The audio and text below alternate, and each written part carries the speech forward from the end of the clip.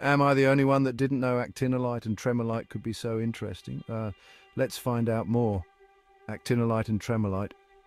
Uh, These might sound like names from a sci-fi movie, but they're actually minerals with some seriously cool properties. Ooh.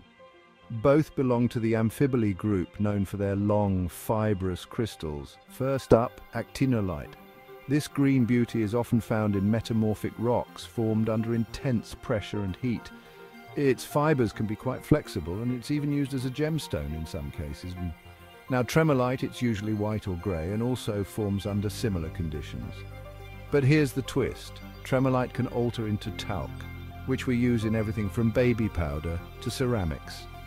What's fascinating is both minerals can occur in asbestos form, which is a health hazard. So, while they're cool to study, handling them requires care and respect.